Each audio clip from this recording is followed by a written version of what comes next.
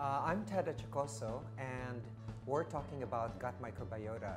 Gut microbiota has become a hot topic today, especially because it is now being treated as another organ in the body. And it affects so many things in our body, like our mood, our skin, our responses to infections, um, our irritability, and our um, behavior towards other people.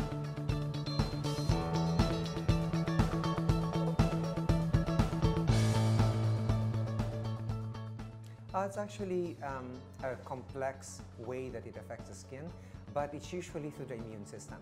For example, if your uh, gut is inflamed, so what happens is that uh, it uh, begins to absorb certain things it shouldn't be absorbing.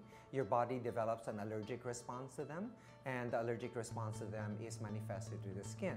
So you can have an EC allergy to uh, skin irritants, and that's because your skin becomes hyperreactive to it.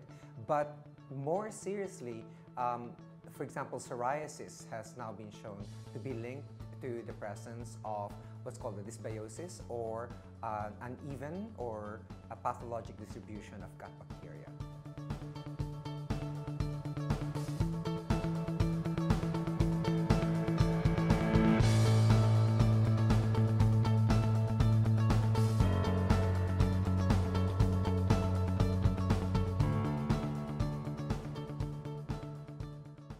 The newest studies show that uh, gut dysbiosis or a maldistribution of uh, gut bacteria is actually highly linked to Alzheimer's disease. And one of the more common mechanisms that uh, is used to explain it is the existence of uh, what's called molecular inflammation.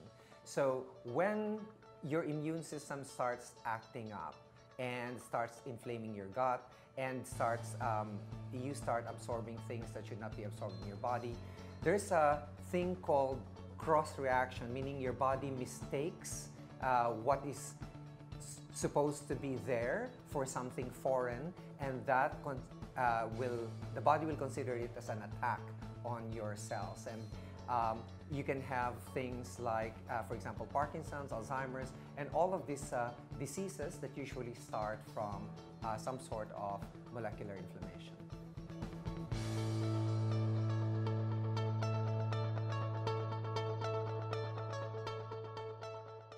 There is a well-known study and uh, people are trying to debunk it, but uh, the one of the major studies that was done was the ratio of a, a group of bacteria called Bacteroidetes and another group of bacteria called Firmicutes.